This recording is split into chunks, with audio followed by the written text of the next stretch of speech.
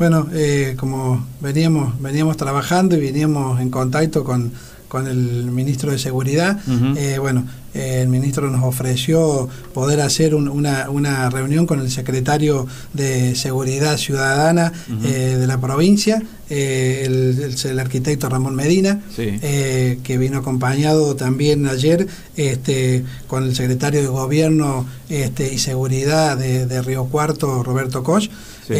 bueno, poder hacer una reunión para poder, este, ¿qué podemos generar hacia adelante en cuanto a seguridad, eh, que bueno, que esto es tanto lo que nos preocupa y que es el flagelo de todos que veníamos, que veníamos viéndolo, veníamos hablando con los, intendentes este, eh, vecinos del departamento, y bueno, eh, poder hacer una, una, un consejo de seguridad ciudadana en Vicuña Maquena. Así que bueno, tuvimos la reunión, como dije recién, con el arquitecto este, Medina, Ramón Medina, eh, también estaba la cúpula policial, policial el del departamento, el comisario mayor Walter Huerta, estaba el comisario este, eh, Agustín Torres, eh, el subjefe de la departamental, el, comisario Echeverry, el comisario de Vicuña Maquena, que bueno, como dijiste recién, es este, Javier Meatelo. Eh, este, que bueno, eh, yo ya he estado hablando cuando eh, del viernes pasado, que está Javier Miatelo acá, en el cambio de, este, de comisario, y, bueno, y, trabajando para bueno poder llevar tranquilidad y llevar seguridad a toda la ciudadanía. ¿no?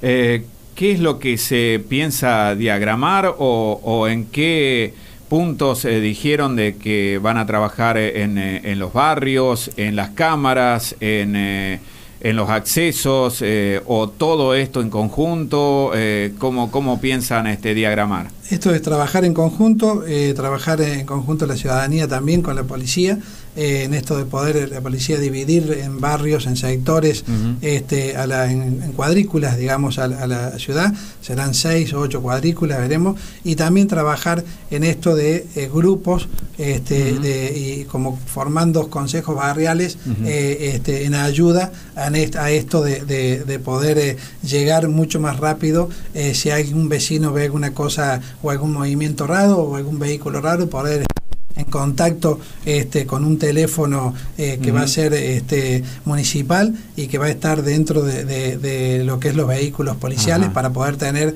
este, ese eh, ese vínculo y, esa llegada mucho más rápido a la, a la policía. ¿no? Como una emergencia, un sistema, de, emergencia rápido para... Y que va a estar seguido por todo el consejo que vamos a estar, este, quienes vamos a estar este, eh, en ese consejo de seguridad. ¿no? O sea que esto continuará, porque esto es el punto... Esta fue la primera reunión que tuvimos, también por, por, la situación y los hechos ocurridos. Este, entonces el secretario también este, vino a poner eh, todo desde la provincia para poder este, llevar a cabo esto, esto que estamos formando ahora. Así que bueno, ojalá, ojalá que la gente se comprometa, ojalá que los vecinos eh, este, se comprometan en cuanto a esto y que tengamos esa confianza de hacer la denuncia, esa confianza de vamos a poder trabajar con números telefónicos para que la gente pueda hacer la denuncia directamente a los números telefónicos, que muchas veces que la policía no me atiende, que no me, no me, no me tomaron la denuncia, hacer los, los, este, la denuncia vía online, vía teléfono, eh, y también decirle a, los vecinos, hacer la denuncia, llegarse a la policía, policía, llamar a la policía, tenemos que saber que las denuncias están en la, en la, comisaría, porque si no, es como que queda, eh, no, no me tomaron la denuncia. Bueno, pero ¿por qué no le, tomaron la denuncia al vecino? La denuncia se la tienen que tomar. Que esas muchas veces son las cosas que, que uno no sabe eh, o, no, o, desconoce porque no... Eh, mira, eh, no hay nada, no hay nada este, mejor eh, que muchas veces en, donde uno en donde uno está cuáles son las situaciones que no sabemos para poder corregirlas porque si no no se pueden no se pueden corregir. Eh, y bueno eh, a ver como siempre digo en la municipalidad el reclamo el reclamo el vecino tiene que estar tienen que entrar por mesa de entrada, para, porque, a ver, muchas veces hay situaciones que no se terminan de, de, poder llegar, de poder asistir, de saber si no tenemos el reclamo del vecino. Entonces, el reclamo del vecino en la municipalidad es lo mismo que la denuncia en la comisaría del vecino. Tiene que estar para saber, entonces, por lo menos la información, decir, no, pero si a mí me están diciendo los vecinos que no le tomaron la denuncia, entonces hay una situación que en la policía que no se está cumpliendo con lo que tienen que cumplir. Entonces, desde ese lugar uno puede acompañar y decir, a ver, ¿Qué está pasando? Que no se toman las denuncias. Claro. Entonces, corrijámoslo, empecemos a trabajar, que, la policía empiece también a interactuar con el vecino. A ver, esto de, tiene que volver la policía a caminar el barrio, tiene que volver la policía a que la veamos circular, que la veamos transitar dentro de nuestra localidad, no que no veamos los móviles, no que no se vea el, policía. Mira, eh, los otros días recibí montones de, llamados, habían, se pusieron dos policías en la salida de los bancos, un policía en la salida de los bancos. Bueno, eso llevó tranquilidad. Sí porque la gente veía que, a ver, está el policía acá en la puerta, entro y salgo tranquilo, tengo a alguien que me está mirando, observando, cuidando. De ese lugar es donde tiene que estar trabajando la, la, policía, en el cuidado del vecino, en la atención al vecino. Entonces, cuando se pusieron eh, uniformados en las puertas de los bancos, la gente, ah, qué bueno, más que nada no tenía. A ver, pero tenemos que esperar a que sucedan las cosas para que no, nos pase esto. Entonces, eh, eh, esto que hemos venido trabajando, veníamos diciendo al gobierno, qué es lo que está pasando, Maquena va creciendo, Maquena va desarrollando, va creciendo demográficamente a pasos agigantados, no somos los 10.400 habitantes que teníamos en el 2010, somos 15.000 habitantes o más. Entonces, eh, eso es lo que tiene que ver el gobierno de la provincia, eso es lo que tiene que ver la seguridad para que las ciudades que van en desarrollo, van podamos ir marcando también un desarrollo y un seguimiento desde la seguridad, desde la salud, de todos lados, para, porque si no nos quedamos con, con, que somos pocos y resulta que eh, no, da, no dan abasto las instituciones. Así que bueno, eh, se está eh, trabajando todo en eso y bueno, realmente salió una reunión este, muy buena ayer. ¿no? Está bueno eso que decís de las denuncias y todo eso porque hubo este silencio con el cambio de de cúpula acá de la comisaría y no hemos podido hablar, pero la gente nos llamaba y nos decía, mirá, a, tal vecino le llevaron este, unas herramientas, a tal otro le llevaron, este, estaba construyendo un galpón y le llevaron parte de las cosas, a una vecina le robaron una garrafa, llamamos a la vecina, ¿no? Y dice, ¿para qué voy a denunciar que me robaron una garrafa si no lo van a encontrar? Pero no, pero pará, pero tiene que estar asentado en algún lado, porque eh, nosotros tenemos que saber, el intendente tiene que saber, che, mira, en Maquina por lo menos un promedio de 20 garrafas se roban por mes. Pero eso lo tenemos que saber. Exactamente. Eh, por ahí, este, como vecinos decimos, ¿para qué? Si no me lo van a encontrar, no me lo van a devolver. Pero bueno, eh, necesitamos eh, esos datos, ¿no es cierto? ¿Sabes cuando, cuando este, lleguemos, nos reuníamos en la departamental, lo primero que me decían que no había denuncia en Maquena. No, pero si la gente denuncia. No, no hay denuncia.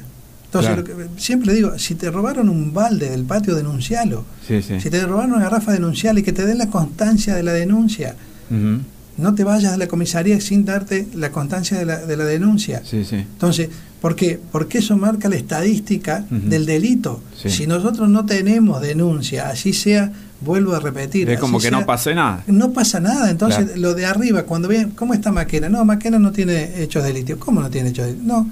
Claro. No, sí tiene que denunciar la gente, porque tenemos hechos delictivos como cualquier ciudad, como cualquier este del departamento y de la provincia de Córdoba. Entonces, tenemos que hacer la denuncia. Entonces eso va a hacer de que realmente se vea en, en, las esferas este, de gobierno que realmente hay inseguridad.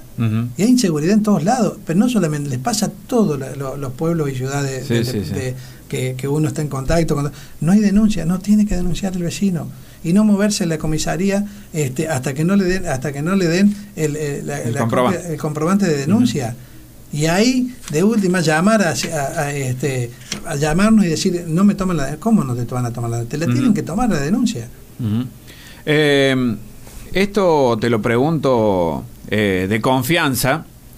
Eh, al intendente le pregunto, pero también eh, a Roberto, este, que nos conocemos de año. ¿Han podido averiguar algo? ¿Ustedes han podido hablar con la fiscalía por el caso eh, del padre Coqui o caso Baudaña, como me respondieron desde la Secretaría de la Fiscalía hace una semana y algo que no me podían dar porque estaban con el secreto de sumario, porque esto le digo, pero ¿sabes qué pasa?